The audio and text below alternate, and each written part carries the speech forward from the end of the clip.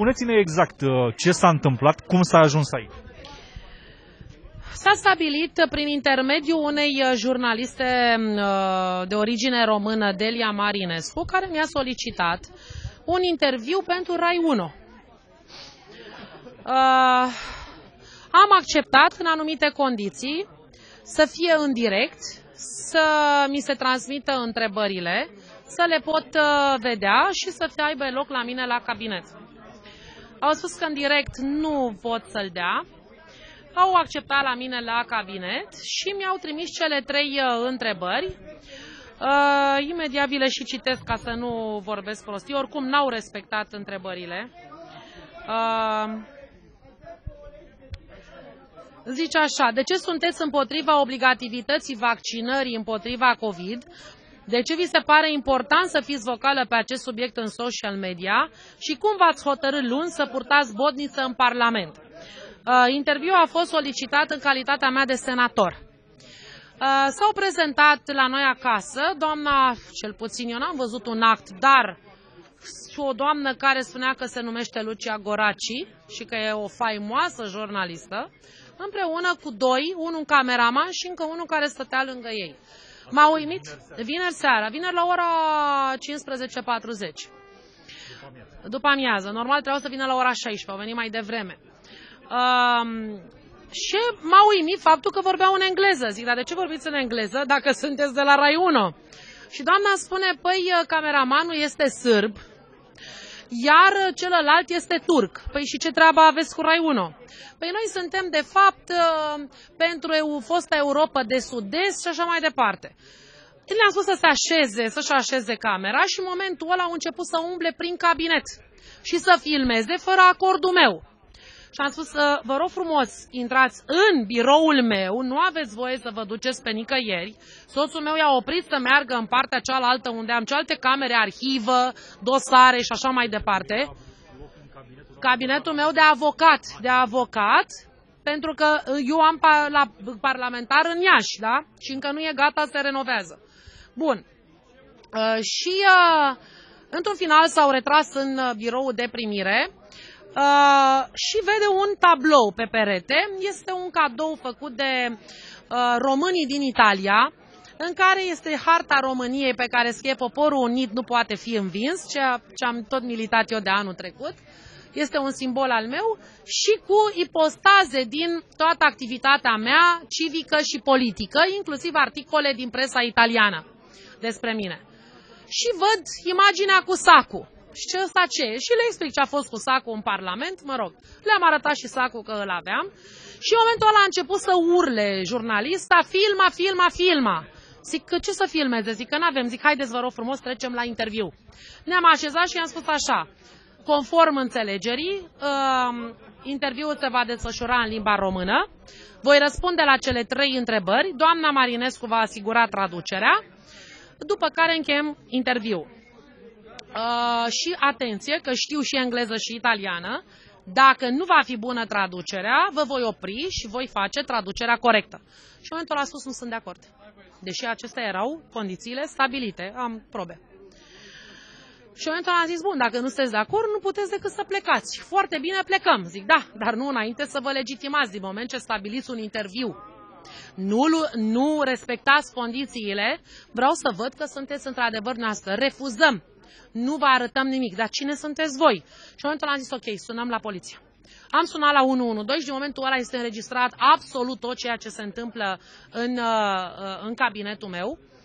Uh, doamna, doamna a ieșit urlând că e sequestrată. Păi din moment ce te-am lăsat să ieși, unde e sequestrată? Ceilalți doi s-au așezat și am spus, vă rog frumos să așteptați până se aude pe, pe cameră. Se vede pe cameră, să așteptați până vine poliția. Poliția a venit foarte repede, au intrat doi polițiști în casă, le-am arătat ce s-a întâmplat, sau au vorbit cu cei doi un pic.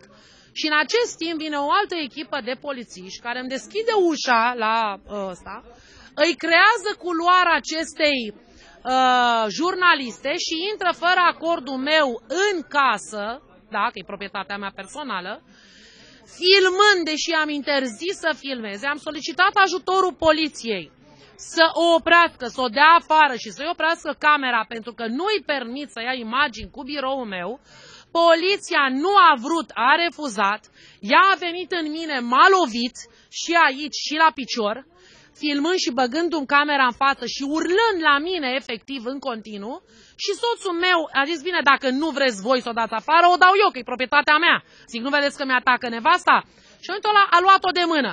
Poliția când l-a văzut că a luat-o de mână să o dea afară, trei polițiști s-au întors către soțul meu, l-au luat, l-au imobilizat, l-au dat cu capul de ușă, i-au pus un pumn în gât. Silviu nu-și aduce aminte ce s-a dat timp de câteva secunde, 4-5 secunde și a pierdut cunoștința. A fost stat dezechilibrat, unul dintre consilierii mei l-a prins în spate să nu cadă și în momentul ăla am strigat, cum e posibil să-l rețineți pe el când eu sunt atacată în propria mea casă, în propriul meu birou și voi nu faceți nimic? E, Uh, într-un final au, au fost scoși afară din casă toți. Dar a dat și soțul dumneavoastră în ei? Că nu, domne, cum, dacă și-a pierdut cunoștința? De ce și-a pierdut cunoștința? Cu ce să dea? Că eu am fost acolo, eram exact lângă el. Și cum s-a ajuns la această acuzație de ultraj la adresa soțului dumneavoastră? Vă spun că am văzut eu... Uh, păi ce, este comandă politică, despre ce vorbim.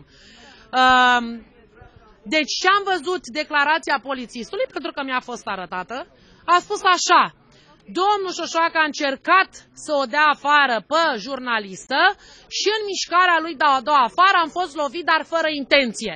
Și atunci unde e ultrajul? Unde este ultrajul? Înțeleg că și dumneavoastră sunteți vizat uh, de un dosar uh, tot pentru ultraj la parchetul general. E adevărat? Știți ceva? Au dat un comunicat. Da, există un comunicat. Nu, pentru ultraj eu? Nu știu exact pentru ce, dar înțeleg că ați fi vizată și dumneavoastră de un dosar la parchetul general. Nu, ăla e cu Răchiteniu, unde am fost în uh, circumscripție, dar acolo o să vă dau publicității să vedeți. Este denunțul meu împotriva autorităților de acolo pentru fals în acte, pentru grup infracțional organizat și comunicarea de informații false unde mi-a transmis acum DICOT-ul și parchetul de pe lângă înalta curte de casație și justiție uh, că uh, s-au deschis aceste dosare de anchetă împotriva primarului, prefectului, domnului Cepoi de la DSP uh, și va fi anchetat de DICOT, iar cel împotriva de, uh, plângerea penală împotriva președintelui CSM Bogdan Mateescu, care într-o ședință a CSM-ului a urlat efectiv și a cerut doamnei Scutea să-mi facă dosar penal pentru cazul Răchiteni, deși el nu a văzut filmările, dar i s-a spus. El nu are voie să facă așa ceva, i-am formulat plângere penală și el este anchetat în acest moment de... Uh, uh, este anchetat... Mă opresc? Ok. Este anchetat uh, pentru uh, pentru aceste fapte. O să vă dau publicității această, deci nu e cum a prezentat presa, e minte. Dar legat de Uh, nu am cunoștințe. Uh, nu, eu am formulat, eu am formulat plângere pentru ultraj uh, pentru, acea, pentru această jurnalistă, uh, iar uh, în acest moment voi formula plângere și împotriva polițiștilor care nu și-au îndeplinit, uh, nu și-au îndeplinit uh, atribuțiile și în loc să apere în primul rând un cetățean român, în al doilea rând un avocat și în al treilea rând un senator al României și în al patrulea rând proprietarii apartamentului, pentru că este vorba de uh, violare de domiciliu, violare de sediu profesional, loviri și alte violențe, da, de către o jurnalistă care urla, o să vedeți filmările, I'm a media, I'm a media, I, uh, I have the right. Ce drept ai tu? Păi dumneavoastră v-ați permite să intrați în sediul meu dacă eu nu vă dau voie? V-ați permite să veniți să îmi dați una cu mâna să mă loviți? Să mă dau la o parte? Evident că nu. Unde ați formulat plângerea noastră împotriva jurnalistei? Am fost chemată la secția 4 poliție, acolo am formulat plângerea și s-a transmis către parchetul de pe lângă judecătoria sectorul 1, era de serviciu doamna procuror Iordache Laura, care este și acum și Uh, a spus, bineînțeles, că având în vedere calitatea mea, se va transmite către parchetul de pe lângă în alta curte de casație și justiție. Însă ce a fost frapant? Potriva...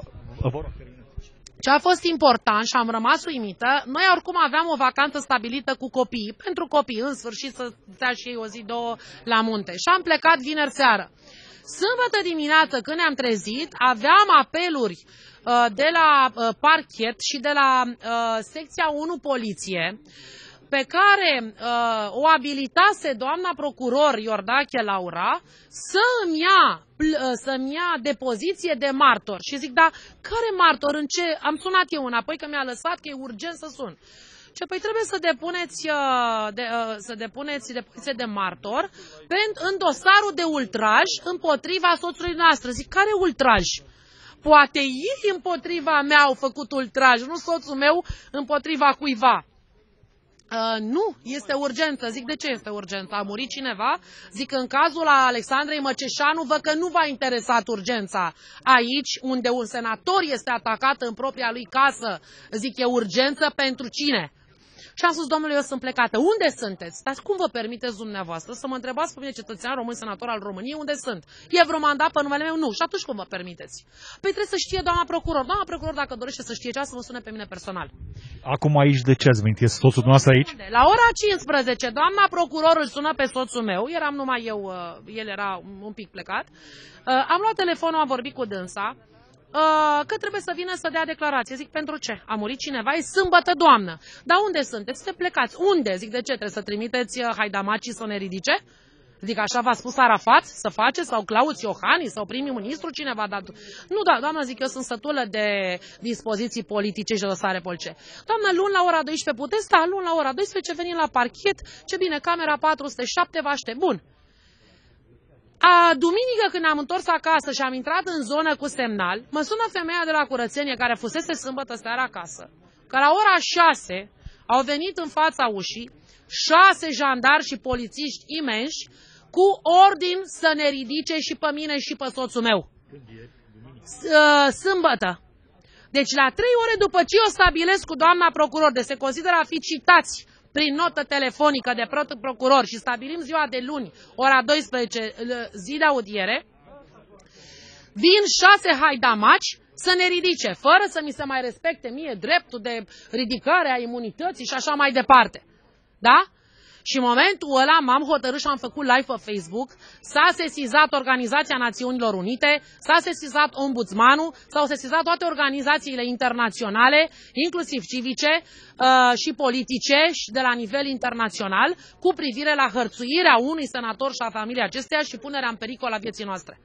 Acum aici sunteți cu soțul noastră. Da, soțul meu este la audieri, da. Uh, unde ați formulat sau veți formula plângere împotriva polițiștilor? Păi la parchet. Acum formulăm. Da, și aici va depune și el și voi depune și eu. Oricum mi se pare destul de mult uh, să dureze audierea o oră și ceva pentru uh, un moment în care, de fapt, soțul meu a fost uh, victima unei violențe a polițiștilor în propria lui casă, da? în încercarea lui de a o apăra pe soția lui și de a da afară un infractor din, de pe proprietatea noastră. E vorba de polițiști de la secția 4. De polițiști de la secția 4, poliția, da. Polițiștii de acolo și-au cerut scuze că au zis că, deci toți erau până în 25 de ani, că nu s-au mai întâlnit cu așa ceva, că au fost intimidați și n-au știut ce să facă. Păi da, asta trimis tu? Când am nevoie de ajutor? Păi dacă ai avea un cuțit în mână, că eu nu știu cine e aia, da? Și îl băga în mine. Aici la audieri și Uh, e uimitor nu. Sau polițist. Uimitor nu. Uimitor nu. Deci eu au fost lăsat să plece din țară în acest moment, fără reținere, fără nimic. Da? De ce? Pentru ce? Erau agenți, Diana, să știe foarte clar. Agenți. Da. Bun, e suficient, domnule. Mulțumim. Mulțumesc Atât frumos. Dumneavoastră și soțul ăsta. Mulțumesc. Săruna.